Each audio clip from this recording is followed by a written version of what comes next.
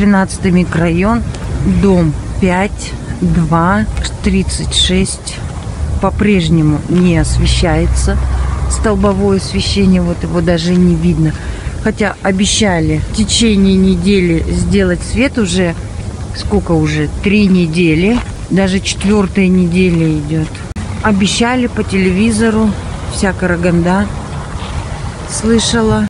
Около месяца назад жители 13-го микрорайона обратились на канал, чтобы заявить о своей проблеме. Вот уже длительное время микрорайон вечером погружается в кромешную тьму. Дома здесь расположены далеко друг от друга и от центральных улиц. Расстояния большие. В темноте стало опасно ходить. Не ровен час куда-то провалишься или кто-то подстережет в темноте. О критической ситуации было сообщено в отдел жилищно-коммунального хозяйства города. И вот как тогда нам ответили. Специалистами отдела хозяйства совместно с подрядной организацией выясняются причины, почему не горит освещение.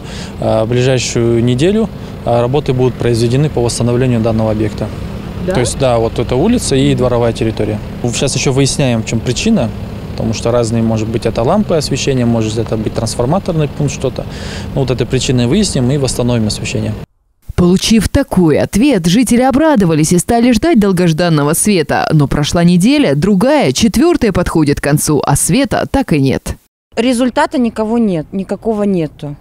Абсолютно. Просто у нас в очередной раз, получается, просто обещанием кормят. Обещали людям, э, по телевизору все видели, все слышали. Теперь мне все приходят, звонят, где свет, почему нету света. Даже подключить э, надподъездный свет, оно все идет вот от центрального столбового освещения. Все провода, вся проводка идет от столбового освещения. Но можно же один фонарь подключить, чтобы оно освещает не один двор, она несколько домов сразу, дворы освещает, освещение идет. У нас тут а, участились краж, кражи, автомобили, колеса снимают, все бьют, стекла бьют. Вот буквально с понедельника на вторник тоже сняли с машины колеса. У нас отведено место для стоянки, для машин специально. Есть территория. Утром при, приезжаем, машина стоит на боку, ну, тут сосед, людей машина стоит на боку без колес. Справедливости ради заметим, что тропу около 54-й школы все же осветили, подключив несколько фонарей. Но детям надо еще как-то добираться до своих домов. Ходить с фонариками – это не норма в 21 веке в областном центре, в 200 километрах от столицы. Мы вновь обратились в отдел коммунального хозяйства за разъяснениями. И нас заверили, что компания «Алсер», занимающаяся освещением, уже наладила работу фонарей. И свет люди увидят уже сегодня.